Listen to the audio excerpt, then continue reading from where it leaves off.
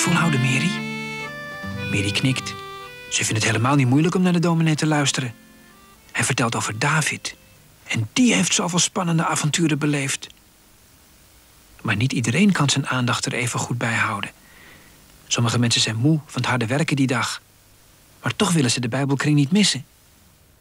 Er is geen kerk in het dorp. En niemand heeft ook een Bijbel.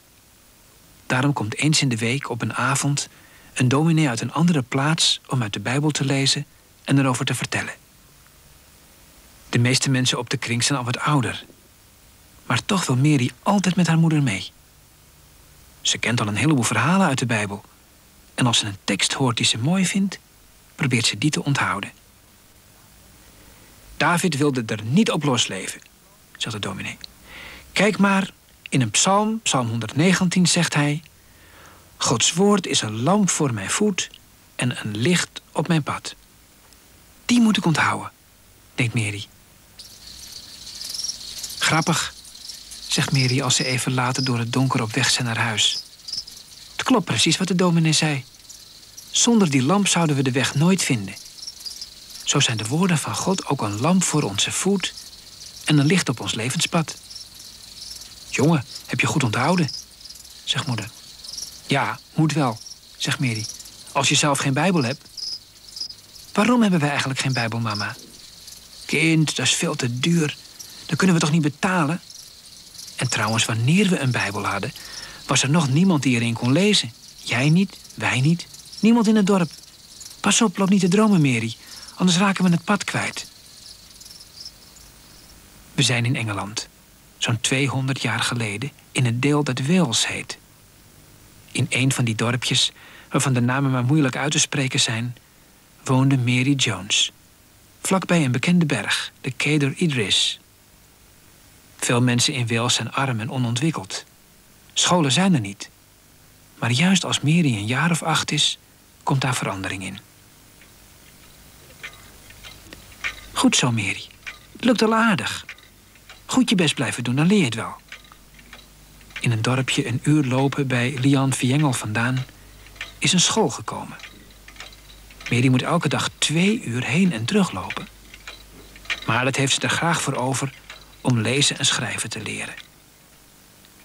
Schrijven deden kinderen toen op een lei met een stift.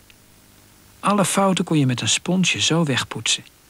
Dat gaat in een schrift jammer genoeg niet. Toen kon je dus altijd weer met een schone lei beginnen. Vader en zijn leerjongen zetten het weefgetouw even stil. Laat dan eens horen, Mary, zegt vader. Mary leest een brief voor. Het gaat nog met horten en stoten, maar iedereen begrijpt wat er staat.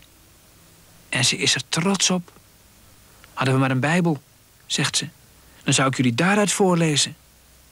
Wacht eens, zegt moeder, die voor het spinnenwiel zit.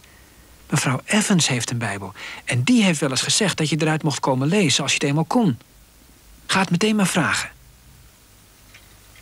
De familie Evans is niet arm. Die hebben mooie spullen in huis waar je je ogen haast niet van af kan houden. Maar Mary kijkt er nauwelijks naar. Dat ze een Bijbel hebben is voor haar veel belangrijker. Je leest maar zolang je zin hebt, kind. En wanneer je er genoeg van krijgt, nou, dan kom je gewoon volgende week verder lezen. En Mary leest het ene Bijbelboek na het andere. Iedere zaterdagmiddag wel een paar uur. En toch vindt ze dat ze maar weinig opschiet. Als ze zelf een Bijbel had, dan zou ze hem al bijna uitgehad hebben. Natuurlijk heeft Mary nog wel andere dingen te doen dan naar school gaan en in de Bijbel lezen. Vaak moet ze voor thuis de was doen bij de rivier. En op een keer krijgt ze daar een geweldig idee. Ze kan misschien voor een Bijbel sparen. Door ook voor andere mensen de was te doen. En nog meer karweitjes misschien. Het geeft niet hoe lang het duurt, denkt Mary. Maar eens zal ik genoeg geld hebben voor een eigen Bijbel. Kuikentjes, wat lief. Jij mag ze hebben, Mary, zegt mevrouw Evans. Ik heb gehoord dat je voor een Bijbel wilt sparen. Als de kuikentjes kippen geworden zijn, kunnen ze eieren leggen en die kun je verkopen. Oh, dank u wel, mevrouw, zegt Mary. Zo heeft Mary haar eigen kippen gekregen, die ze elke dag goed verzorgt. En dat is niet het enige dat ze doet. Alles waar wat mee te verdienen valt, pakt ze aan. kinderen passen, onkruid wieden, sokken breien. Elke penning brengt haar dichter bij haar eigen Bijbel. Zes jaar zijn voorbij gegaan.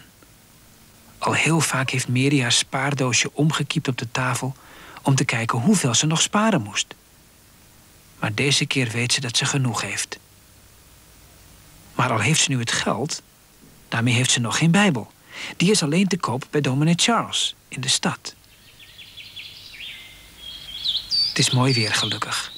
Want 40 kilometer lopen naar de stad Bala door het ruige land van Wales valt niet mee voor een meisje van 16. Maar Mary voelt geen moeheid. Want nog even en een droom van zes jaar gaat in vervulling. Ze heeft haar schoenen uitgedaan en om haar nek gehangen. Veel te zonde als die zouden slijten van die lange tocht. En in haar hand heeft ze een zakje waarin het gespaarde geld zit. Oppassen nu dat ze het op het laatste moment niet verliest of zo. Ze is er haast. Dat spijt me nou toch verschrikkelijk voor je, lief kind. Dit is de laatste Bijbel die ik heb en die heb ik al aan een ander beloofd. Mary kan er niks aan doen. De teleurstelling is zo groot dat ze haar tranen niet kan bedwingen. Heb ik dan voor niks zes jaar lang hard gewerkt om te sparen voor een Bijbel? En heb ik voor niks veertig kilometer gelopen op mijn blote voeten? Wat? Denkt dominee Charles, hoor ik dat goed? Heb jij zes jaar voor een Bijbel gespaard, Mary? Ja, echt waar, snikt Mary. Maar nu is alles voor niks geweest. Nou ja, hm, mompelt dominee Charles. Nou, dan weet ik het goed gemaakt. Neem jij deze Bijbel maar. Die ander kan nog wel een poosje wachten. Alsjeblieft. Meent u dat echt? In één klap zijn Mary's tranen gedroogd. Is die enige Bijbel echt voor haar? Ze straalt van blijdschap. In de verte verheft zich de top van de Keder Idris. Aan de voet van de berg staan de vriendelijke huisjes van de bewoners van Wales. Om haar heen bloeien de bloemen en zoemen de bijen. Maar hoeveel Mary ook van Wales houdt, dit keer heeft ze alleen maar oog voor het boek op haar schoot. Ze is op de terugweg naar huis. Maar ze kan het niet laten om onderweg vast iets te lezen in haar eigen Bijbel. Maar ondertussen zit dominee Charles niet stil. Er is een vergadering van dominees in Londen. Ze vertellen elkaar ook wat ze zo al meegemaakt hebben de laatste tijd. Dominee Charles is er ook. Hij vertelt nu over het bezoek van Mary Jones. Het is toch eigenlijk een schandaal, zegt hij, dat er zo weinig Bijbels zijn en zo duur. Er zouden er zoveel moeten zijn en zo goedkoop dat iedereen in Engeland een Bijbel zou moeten kunnen kopen. Waarom alleen in Engeland? zegt een van de anderen.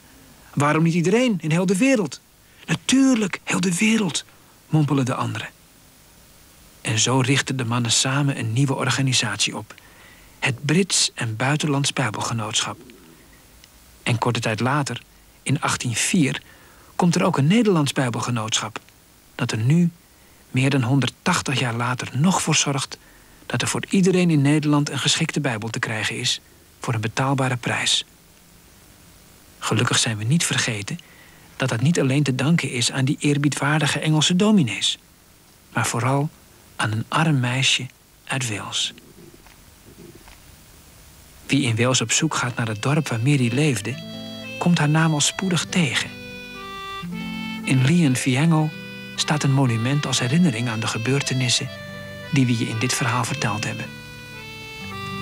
Onderaan staat in het Engels: Ter herinnering aan Mary Jones, die in het jaar 1800 op 16-jarige leeftijd van hier naar Bala liep om van dominee Charles een Bijbel in de taal van Wales te kopen.